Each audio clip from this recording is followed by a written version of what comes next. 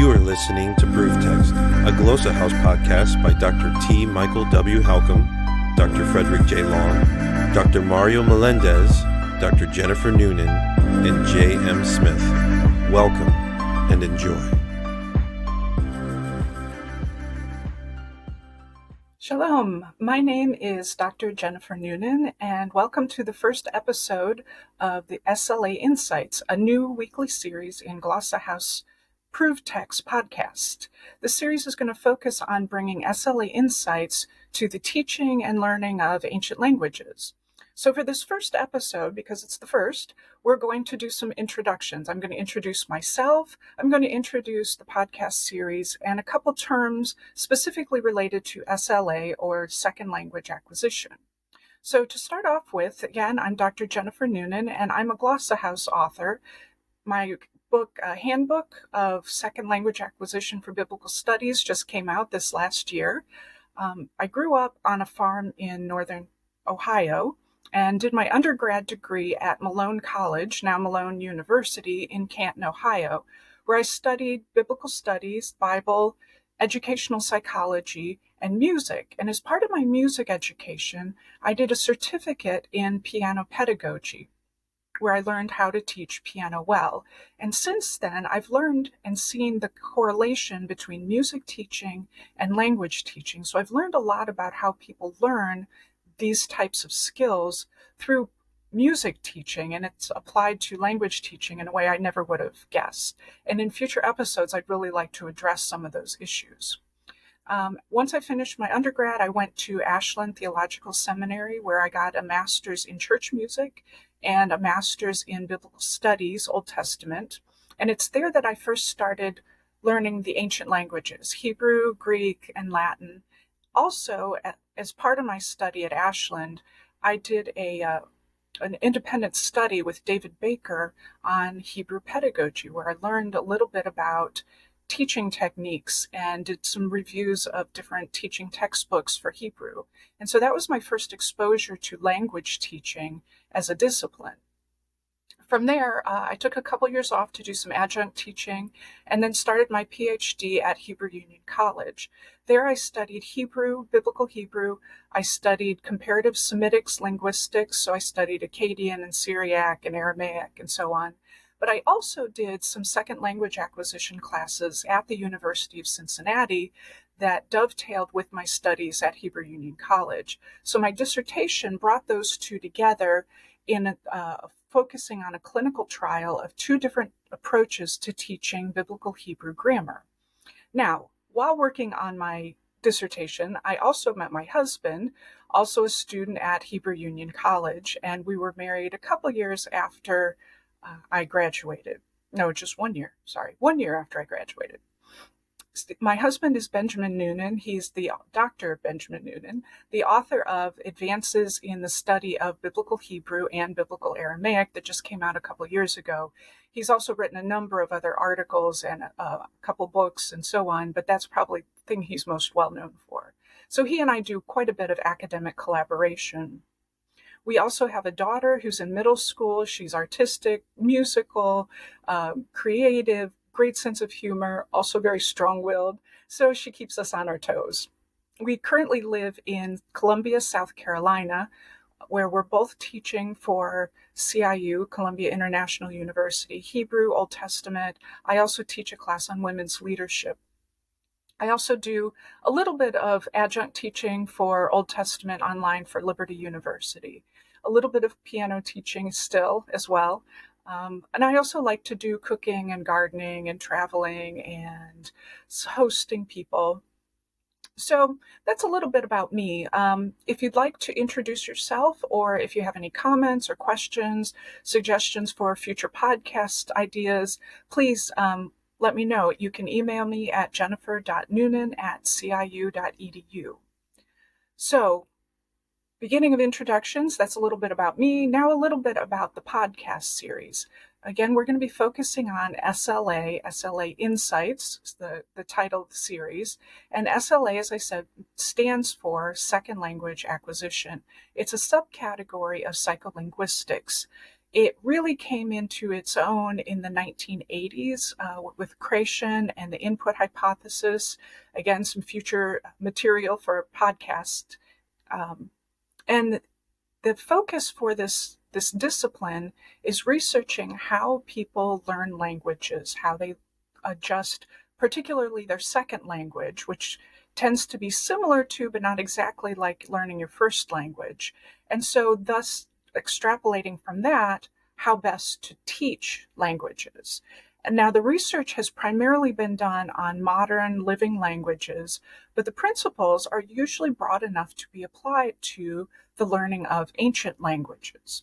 So this podcast is going to be focused on how do we take those SLA insights, principles, and apply them to the learning and teaching of ancient languages, which have been traditionally taught by uh, traditional methods like the grammar translation approach, for example, for a very long time.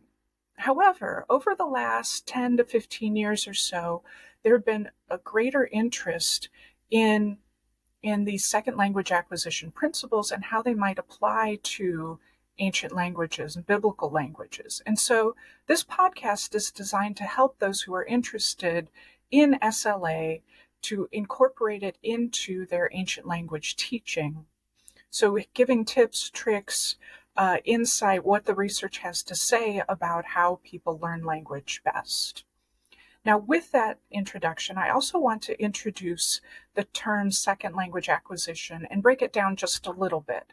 So, second language acquisition is, as you might have uh, guess, learning your second language, but not just your second. It could be your third, fourth, fifth. We just use second language as a quick and easy way to do it, but not learning mother tongue. That's going to be slightly different, although, again, a lot of overlap, but it, we'll see how that works uh, in the future. So, SLA is the academic field that studies how people acquire languages and how to apply that knowledge to instructional contexts. Now, within the field, uh, second language acquisition can have a very specific meaning, that of referring to learning of a language in the context in which that language is used. So, for example, learning French in France. Um, and that's to be contrasted with foreign language acquisition, which is learning a language outside of its natural context. So, learning French in a US high school, for example. So, when we look at ancient languages, we're necessarily talking about foreign language acquisition in the technical sense because we no longer have a natural context for those languages. There are no living speakers, there's no country you can go to to learn those languages. So, we're learning foreign language. However, the term second language is broad enough and often used generally enough to incorporate all of language learning that is not your mother tongue. So we're going to use second language acquisition in this broader sense to indicate learning a language in any context. And again, it's not just your second language, but any language beyond your mother tongue, your first language. The other part of second language acquisition is the acquisition part. So we're going to be talking about how people acquire language, and that is being able to use the language effectively for communication. And that's something different from learning about the language in a scientific, analyzing, mastering grammar, syntax, phonology, being able to describe how the language works, memorizing paradigms, that sort of thing. So we're talking about language as a communicative tool to be able to understand the ancient texts. Now, keep in mind that communication is not just two people talking to each other.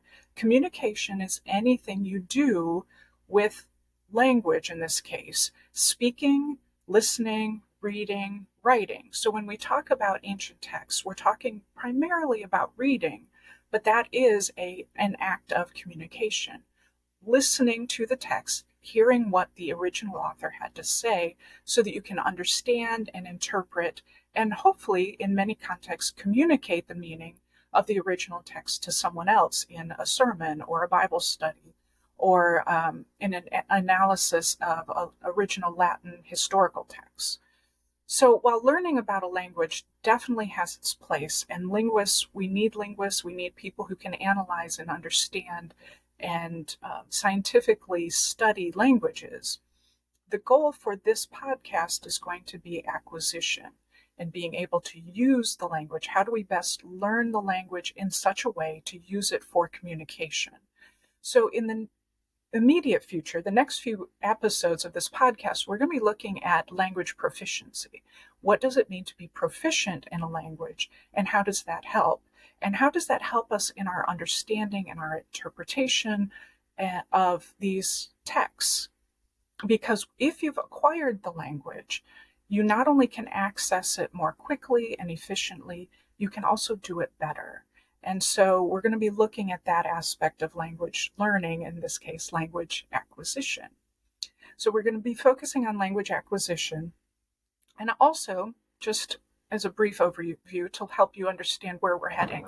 We are definitely going to be looking at some uh, theoretical material, looking at SLA, insights that we can draw from SLA and the theory and the research that's been done there. But we're also going to apply that material to uh, the teaching of these ancient languages. So I want to have a practical aspect of it as well. So taking that theoretical idea and what would it look like in a Greek classroom? What would it look like in a Hebrew classroom?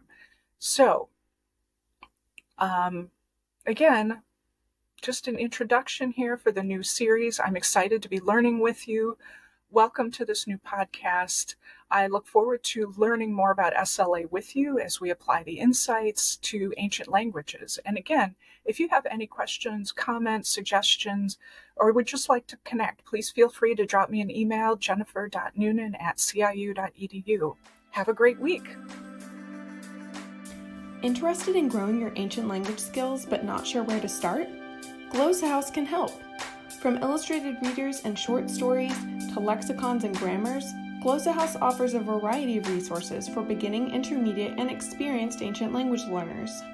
Head to glossahouse.com today. Glossa House, language resources for the global community.